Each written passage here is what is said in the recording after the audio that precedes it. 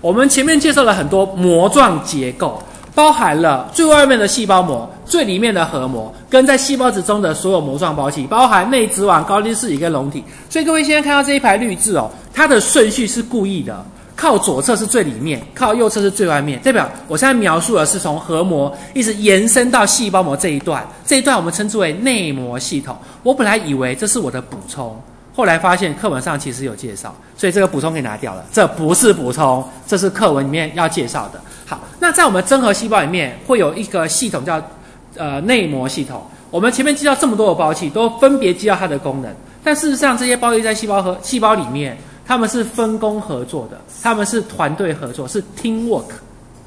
所以，事实上，内膜系统的观念，甚至比每一个包器在做什么、有什么功能重要太多了。我们要看是整体的，所以我来讲讲这些包器之间如何互相分工合作，执行 team work，就是内膜系统。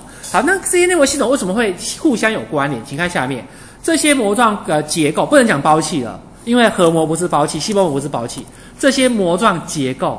包含一些包器，它们要么就彼此根本就相连，例如核膜连到内质网，内质网连到细胞膜，根本要么就彼此根本就相连，要不然就是我们既有运输小囊泡，你的泡泡移到我这来，我的泡泡移到他那去，来互相沟通，所以这些膜状结构不是相连就是有关系。好，所以我们称它为内膜系统。那内膜系统如何执行功能？如何彼此合作？然后如何？做物质的运输呢，我们就来看这个图。好，这个图呢，只要在这个图中出现的膜状包器、膜状结构，都属于内膜系统。所以反过来，如果这个图中没有出现的，就不属于内膜系统。好，我们来看看喽。这个是细胞核，里面的是内膜，外面的是外膜。好，细胞核分两层膜喽，内膜跟外膜。外膜向外延伸，形成内质网这一区，叫做粗糙型内质网 （RER，Rough ER）。下面这个没有核糖体的就是 S 一啊，就是平滑型内质网，我中文写在旁边，对不对？好，内质网本来就跟核膜相连。好，那这个内质网呢往外走，好，上面是粗糙型内质网，下面是平滑型内质网。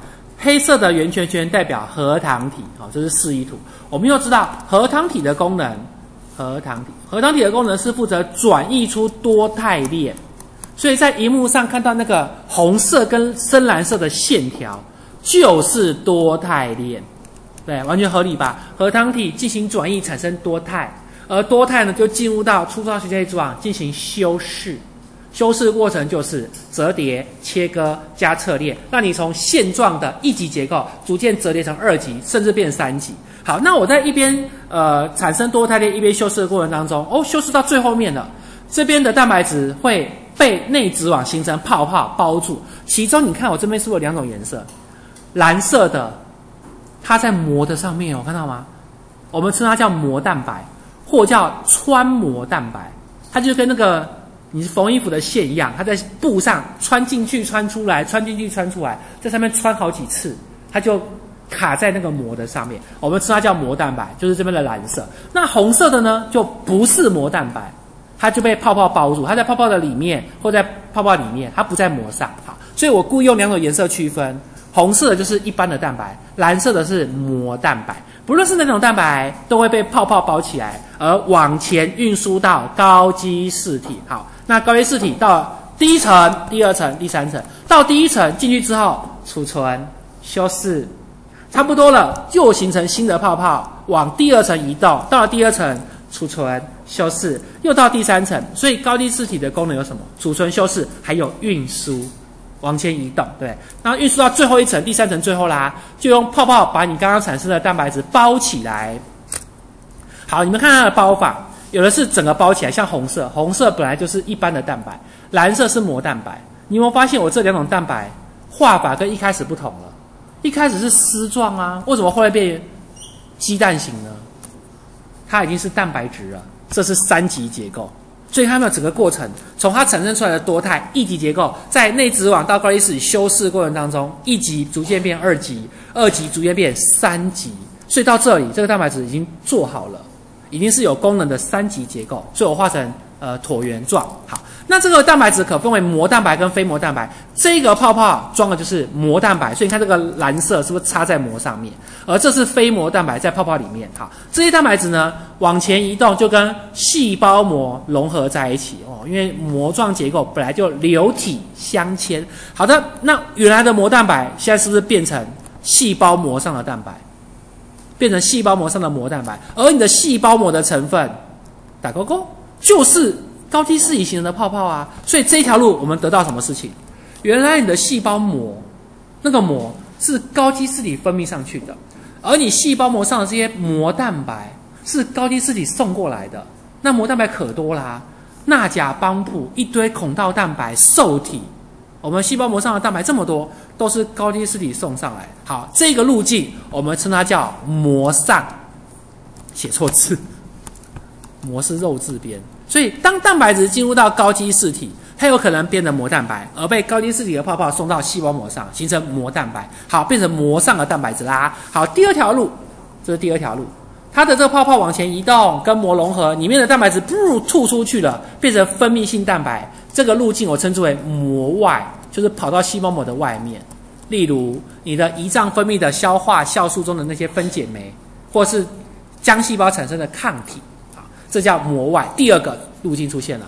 第三个路径在下面画着。如果这个泡泡根本不往细胞膜那边移动，留在细胞里面，而这些泡泡互相融合在一起，被这个大大的膜嗯那个囊状结构，它就是溶体啊。而里面的蛋白质就是水解酶，所以溶体就是高基质体分泌出来的泡泡，而这泡泡会互相愈合变成更大的泡泡，这个更大的泡泡就是溶体，而溶体内的水解酶。来自于高基质体，所以我们才会说三大命运，称为 A、B、C 好了。当蛋白质一旦进入到高基质体，你要么就是形成膜蛋白而到细胞膜上，要么就是被分泌到细胞外面变膜膜外，或者是形成溶体内的水解酶。膜外、膜上、溶体，就这三个命运了。好，以上是当蛋白质进入高基质体后的命运。那如果你今天不是蛋白质呢？一样，也可能被分泌出去。也可能变成细胞膜，像这个就是脂质啊，变成细胞膜的一部分，哦，是这样。好，那我先把上面杂七杂八的擦掉，变成干净一点。好，到这边为止，我们从里面一直延伸、延伸、延伸、延伸，已经到细胞膜上或细胞膜外了。这就是这些胞器之间互相合作的方法。好，所以这个是内膜系统，不但要么就相连，要么就是用泡泡运输，然后互相合作。那这边有个小问题出现，这个核糖体。叫做附着型核糖体，连在粗糙型内质网上面。那有另外一群核糖体呢，叫做游离型核糖体，叫做 free 的核糖体。那它干嘛用？它一样是做多肽链啊。而这个多肽链呢，一样会要修饰，而它的修饰所需要的酵素，就不是在粗糙型内质网或者是高离子以上了，而在细胞质中，这边会有酶做修饰。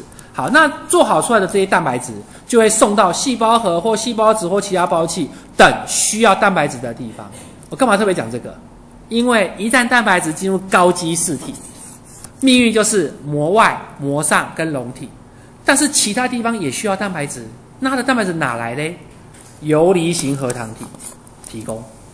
哦，所以核糖体有些在内质网上，有些是游离的，然后它们产生的蛋白质命运稍微不同。好啦，以上这是我们把内膜系统从头到尾介绍完，然后顺便把核糖体分为游离型跟那个附着型核糖体做一下介绍。好，那我先把它擦掉。以上是内膜系统的介绍，请问大家有没有问题？我这边所遇到的这些膜状构造，我念一遍，它们都属于呃内膜系统：细胞核的核膜、粗糙型跟平滑型内质网、高基质体、溶体，还有细胞膜，这些是内膜系统。我没有提到的，一般来讲，我们会说不是它内膜系统有谁呢？立腺体不在上面呢，叶绿体也不在上面呢。那两个胞器为什么不是内膜系统？理由非常直截了当，他们不是你，对吧？他们是别人，你把它吞进来，跟你共生在一起，所以它根本不属于你，怎么可以说他们是你的内膜系统呢？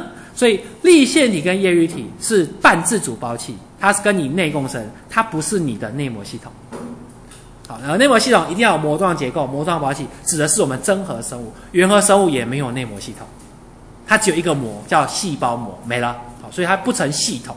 那这些内膜系统之间互相分工合作，执行团队合作的 teamwork。好，那我们就把内膜系统说明到这儿。